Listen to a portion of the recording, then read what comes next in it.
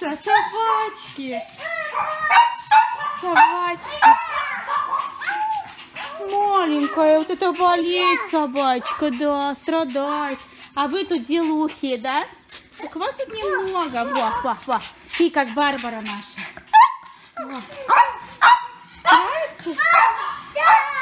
Да? Собачки, да?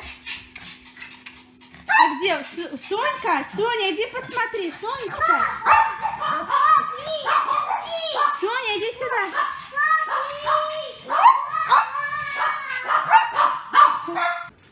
Всем привет. Делаю с вами салат. Доделываю. Здравствуйте. Там еще тоже здороваться. А, Хотела рассказать. Салат у меня винегрет. Я чуть все не вспоминала, забыла, как это называется. Винегрет делаю с а, морковью. Обязательно. Иногда забываю отваривать морковь. И Ваня у меня все время спрашивает. А ты морковь положила?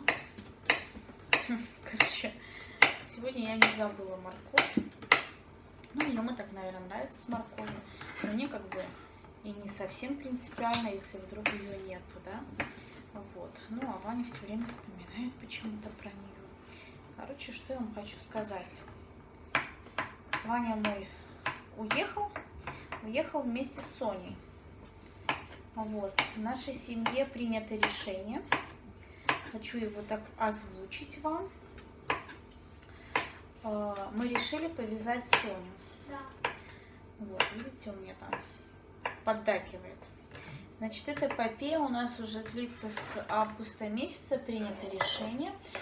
а, По той причине, что Соне нашей три года в сентябре исполнилось. В августе а, позвонили ее ну, люди, э, у которых Сонин папа был, с которым мы вязали Барбару. Прошка, не стучи, пожалуйста, это все ты мешаешь. Прохор. И сообщили, что их собачка Веня, папа Сони, отравился. И они там очень долго его спасали, переливание крови делали. Короче, собака на даче, э, ну, как бы он же не маленький уже, ему там 9 лет было, наверное, почти, да, 9 лет. Он полезал, лизнул корм крысиный, там соседи раскладывали, он где-то лизнул и все. Короче, у него сильнейшая интоксикация. Собаку не спасли. Люди страдают. Единственная э, зацепка по своим корням это Соня, потому что вязка была одна. И э, с этого помета, в том помете была только одна Соня из щенков, больше не было. Люди позвонили со своим горем, со своей бедой, со своей э, печалью, скорбью.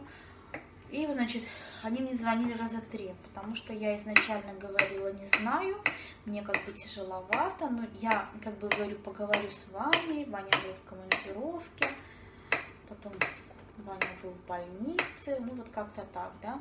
Ну и все-таки я им дала ответ, что да, мы будем вязать Соню, и они себе возьмут щенка. Они там, конечно, мы, мы так хотим, мы, мы вам поможем э, пристраивать, продавать тех щенков, которые еще родятся, да. Ну, вы ж я дала ответ, что мы будем ее вязать, потому что очень жалко, и я сама понимаю, что если бы это была у нас такая зацепка с нашим э, английским бульдогом, которого не стало, рататуя, то мы с Ваней бы Ваня бы скакал и просил, и умолял людей, все что угодно, да. Точно так же и эти люди. Ну, это просто, просто по-свински все время отказывать и говорить, что там мы такие всякие, вязать не будем. Ну вот наступило время течки. Они знали, потому что как раз они в августе позвонили, тогда уже все, ну, мы ни дни не считали, ничего. Вот. Мы тогда же в августе договорились на кабеля, или в сентябре мы договорились, что с кабелем мы поехали, встретились, что будем вязать с рыжим, э, с черненьким энджиком, э, волосатеньким, грифоном, да. Потому- порода у них грифон, общее название. Мои не волосатые собаки, это птибрабансоны черные. Мама выражает три разновидности.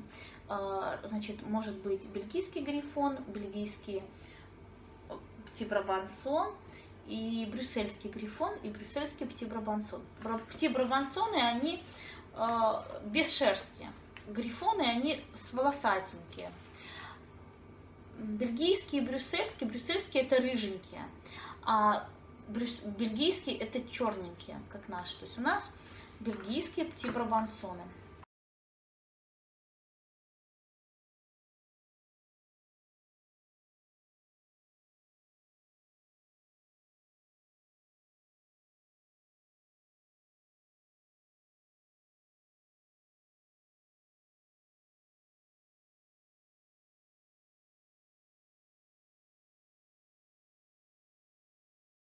Договорились мы вязаться с бельгийским э, грифоном, то есть черненький грифон. В итоге мы приехали, мы уже три раза съездили, у нас ничего не получилось, кабель вообще не реагирует на нее никак.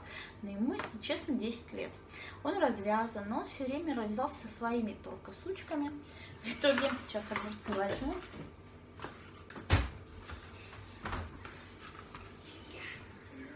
Мы даже Соню оставили в пятницу, с пятницы на субботу со своим кормом, со своим боксом переночевать там, да, ну мало ли, может без нас кабель там как-то э, освоится, не, не освоился, но я уже в пятницу уже поняла, что кабель боится, боится и подходить, он, он прячется, он за хозяйку прячется, он прячется в угол, а если кабель так себя ведет, то ничего толку не будет. Короче, вспомнили мы тогда же еще про одного кобеля, рыжего, брюссельского грифона, рыжего волосатого. Созвонились, а он, наоборот, очень желающий девочку, он не развязан. И вот эта эпопея, это мы, получается, три раза съездили э, к черненькому, да, к Энджику. Теперь мы уже сегодня второй раз поехали к рыжему э, грифону, да, волосатенькому рыжему, то есть брюссельскому грифону. Вот, короче, вчера он активный, все, он хотел, но он вчера подустал, и он немножко, ну как, не смог все сделать, короче. Вот, сегодня это 3-4, сегодня пятый раз уже Ваня поехал. Я все время ездила с ним, тоже с Семеном. Вот, вчера, блин, а, вообще, ну, то есть устали так, представьте, это столько времени, кажется, потом эти собачки, то есть пока еще даже наша Соня не, не беременная, а мы уже столько всего сделали, да, вот, хорошо, хоть они здесь близко живут, и мы это все здесь, они там, как некоторые в другие области ездят, там, придумывают, вот. Ну, очень держу пальчики, что хотя бы сегодня уже тот момент наступит, люди у меня каждый спрашивают, вот эти, которые ждут щенка от Сони, они у меня спрашивают, как, что, то есть веду с ними беседы. Вот такая ситуация. Так что, если все будет хорошо, то через 62 дня у нас появятся щенки дополнительные. Либо через 30. Нет, через 30 им рано, сына. 60-62, вот этот период вынашивания щенков у собаки. Барбара наша рожала два раза. То есть, ну, мы про это все знаем. Вот, трудности, да, большие. А, на меня возлагаются большие надежды и трудности. Я это все понимаю. Надеюсь, я это все должна, не надеюсь, я обязана просто это все выдержать. Вот. Ну, как-то знаете, если бы мне просто со стороны, вот честно, сказали там, э, ну, мы хотим от вашей там собаки щенка, то я бы не вязала. Вот, потому что, ну, мне действительно тяжело. У меня дети, э, детей много, трое детей, э, заботы, домашние дела, 24 на 7 дети на мне. Э, то есть они же никуда не уезжают, дети все время тут. Я, мне тяжело, конечно, эти уроки, домашние дела и все такое. Вот, остался мне только лук. Поэтому я бы отказала. Но не такая же я свинья отказывать людям в беде, в такой э, проблеме.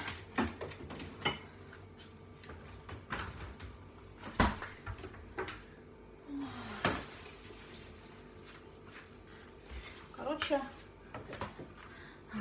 Посмотрим, сколько. Ну так интересно, сейчас расскажу. Клуб почищу и расскажу вам.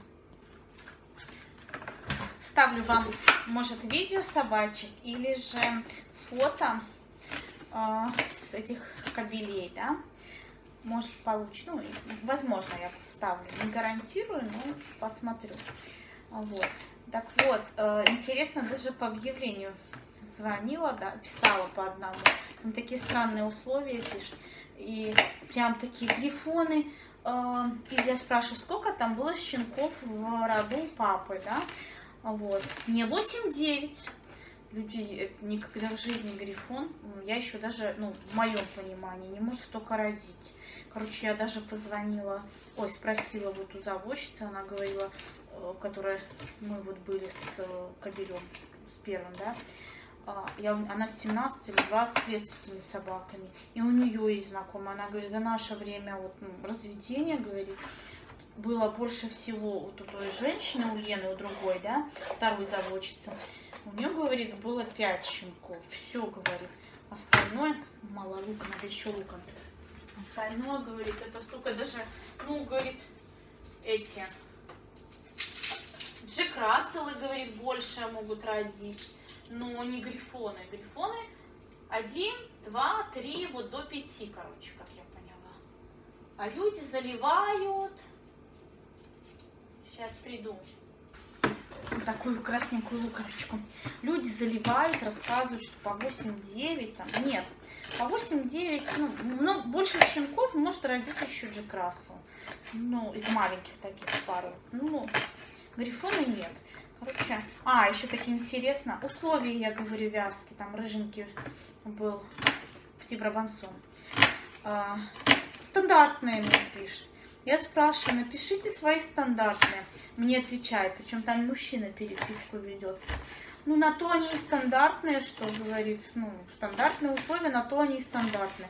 Короче, я таки не поняла. Еще был у меня вопрос, а, какие сколько щенков, кабель развязан, он сказал. Я спросила, а сколько щенков было в последующих пометах, где он вязался. Мне ответили, он с родственниками не вязался. Я не спрашиваю, с кем вы вязали. Мне просто интересно, сколько, потому что от кабеля это зависит. Да? Мне сказали, что... Потом я опять переспросила, он мне ответил, что там было от двух до пяти щенков ну, в тех следующих пометах. Ну, вот это более правдоподобная да, информация. Короче, условия на то и стандартные. Я сказала, блин, я так и не поняла, на каких э, условиях вязка с вашим мальчиком. Да?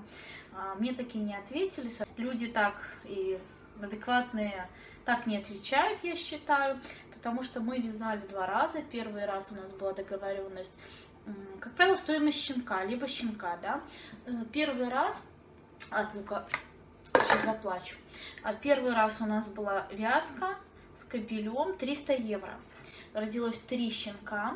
Причем деньги отдаются а, отдавались после того, как они родились. Я позвонила, что да, мы забеременели, потом я поставила в известность, что а, ну, беременность, ну, собака забеременела, потом, что мы родили три щенка, и мне сказала, я говорю, когда вам привезти деньги, потому что это была первая вязка, я реально ничего не, не знала в этом, на что мне сказала женщина, ну, что вот это вот, ну, те люди, которые занимаются.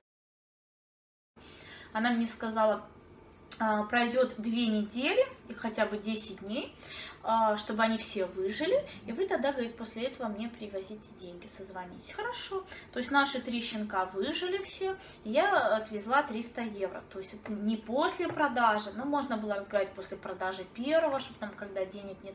Так мы отвезли 300 евро за вязку. Потом мы их растили, и потом мы продавали, это уже наши были деньги, да.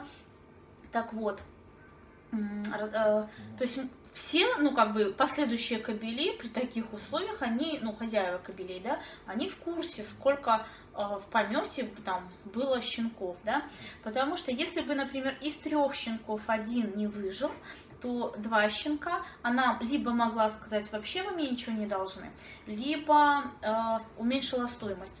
Вот, это вообще как бы два щенка и меньше, э, кобелю ничего.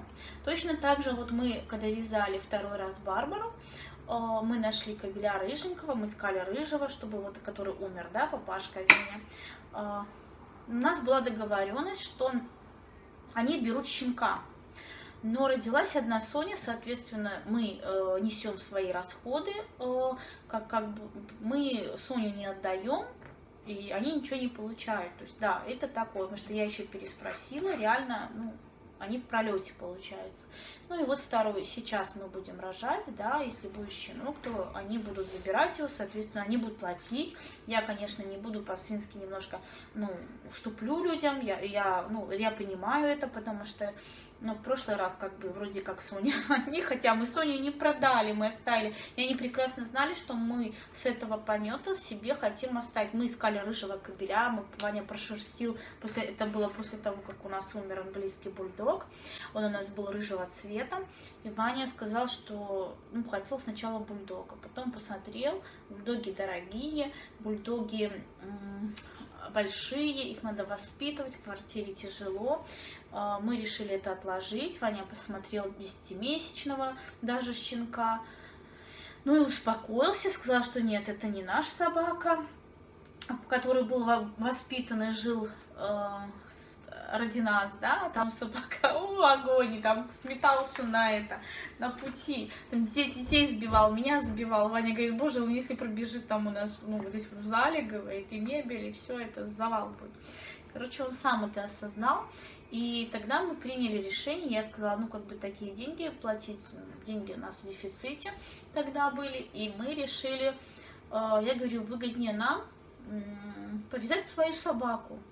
Ну и вот он тогда задался целью рыжего щенка, рыжего.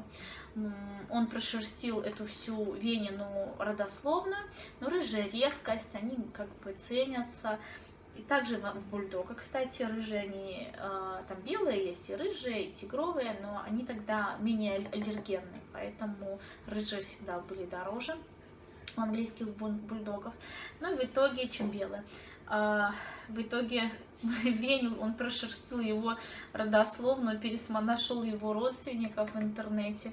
У него со, со всей родословной было только два рыжих помете там родственника дальних, да, и он сам рыжий. Ну, соответственно, э, родилась черная Соня. Ну вот сейчас мы вяжем с рыжим волосатиком, рыжим, рыжим грифоном брюссельским. Посмотрим, что у нас получится. Получится ли вообще. Потому что что-то это эпопея вязки. Хорошо, что мы не проворонили дни. И поехали раньше немного, да, к, к тому кабелю. И сейчас в самом разгаре у нас вот это период для вязки. Вот, поэтому в этот период у нас второй уже кабель сменен.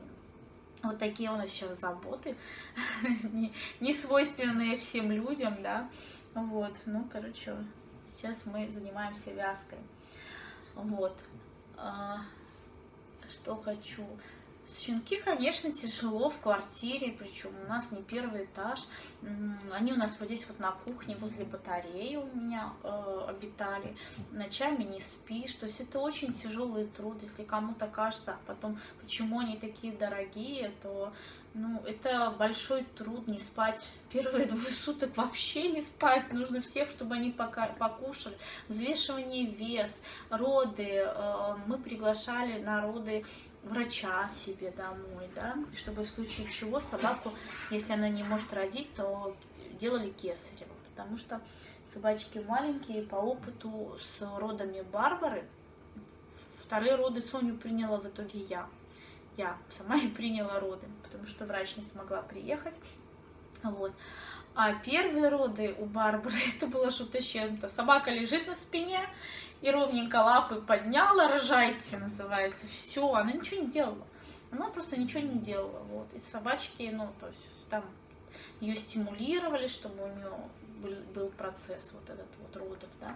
И последнего, даже там было три щенка, последнего просто практически вытащили у него голова была большая, и он мог вообще не выжить, ну выжил, все то, то есть сразу доктор э, откачала этого щенка, и все, вот так вот у нас было три щенка, поэтому А, дело серьезное, опасаешься и своей собаку, чтобы не загубить. Это не дворняги, они даже не так не вяжутся, видите, вяжутся с проблемой. Вот. Поэтому будем надеяться, что все будет хорошо. Будут у нас собачки, будем их называть. А, собака у нас, Барбара, не оформлена у нее родословная. собачка будет моя. Ага, все мы, всех поделим. Пусть Соня сначала родит. Одна моя. Да, в прошлом первом помете у Барбары было три щенка, один мальчик, две девочки. Барбары А, было два полета. Все черненькие, и одна девочка волосатенькая.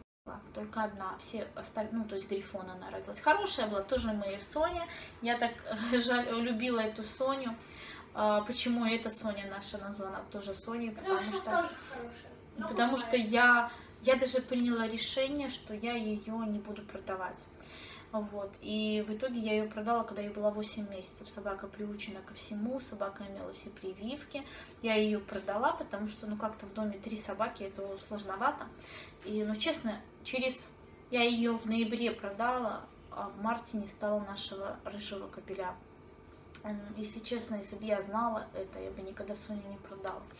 Потому что Соня была, знаете, какая-то такая вот моя, душевная моя, ну, к душе моей собака.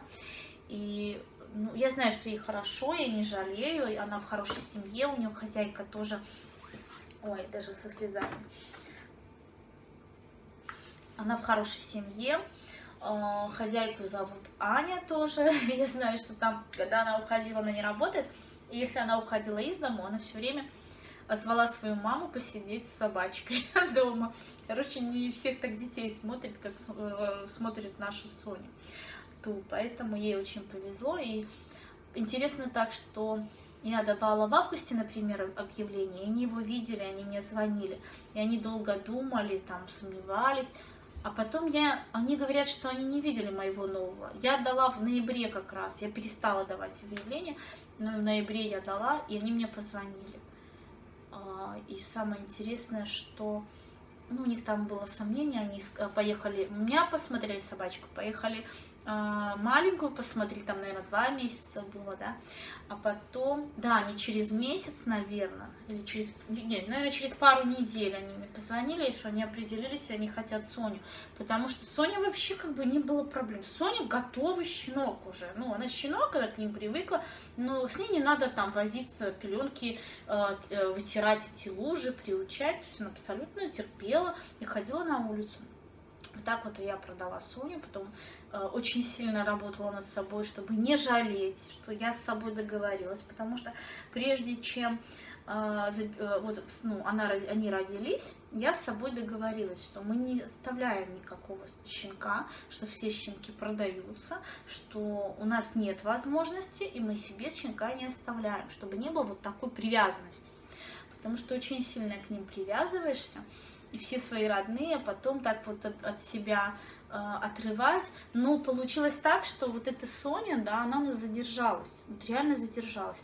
Вот. И э, когда я поняла, что она уже умеет то, когда то, то, то, она уже вот все, она выбирала в хозяйке там меня, да, что я с ней больше всех вожусь, что я ее выгулю, я ее учу, я ее учила там на, с поводком, я не могла ее научить. И ты понимаешь, что ты с ним как с ребенком, все, я сказала, «Вань, мы не будем ее продавать. Я очень привязалась к ней, и все. Ваня мне ровненько сказала, Аня, решаешь сама. Вот. Ну и все. И в итоге я сняла с августа месяца это объявление, но очень сложно. Очень сложно, представьте, на улицу вывести трех собак. При этом Соня, она не ходила на поводке. Это был очень большой минус. Она не ходила с нами, со мной на поводке. И с ней бегаешь, чтобы переживаешь, чтобы она под машину не попала. Она все-таки собака, она еще маленькая, она бежала там к другим собакам каким-то. Короче, вот такой дурдом, если честно, был, да. Вот. Но когда приезжали люди, я им говорила, она не ходит на поводке, но ее надо, она еще пока ну, не так слушается, да, на улице, то есть опасно, чтобы под машину, у нас тут же движняк такой, под машину, чтобы не попала. Поэтому с первых дней ее на поводок, чтобы она знала. Они мне в этот же вечер написали, вы знаете, мы ее одели на поводок, она спокойно полчаса играла.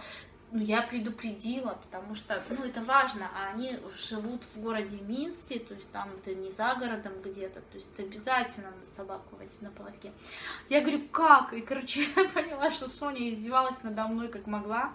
Она, я ее только вот одевала поводок, она садилась ровно как вкопанная. И вот я ее тяну, а она мне вот такая сидит, прям вот тянется, да, лапами.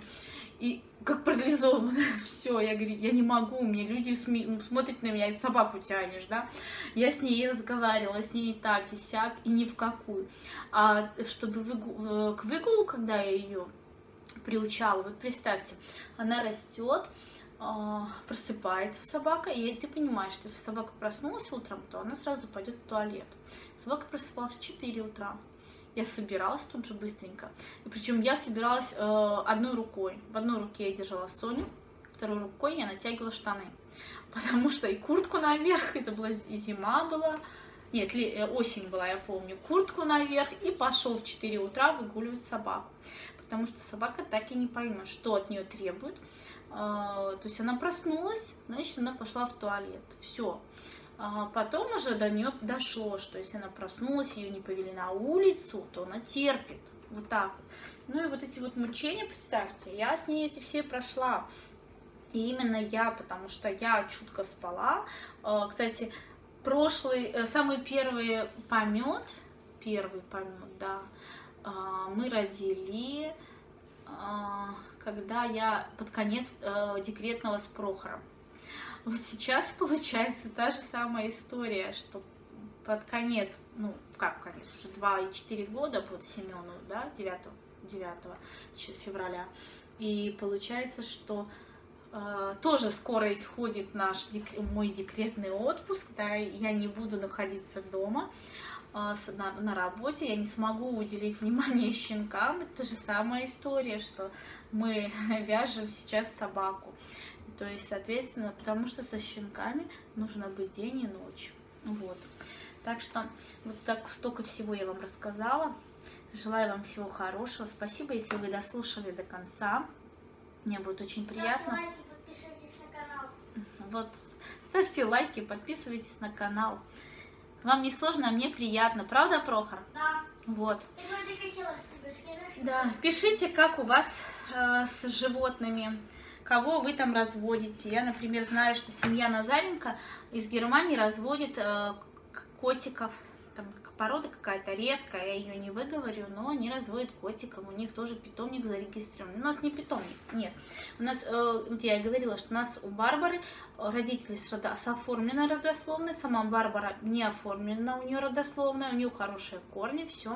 Но соответственно, у щенков нет родословной, потому что А, у других есть.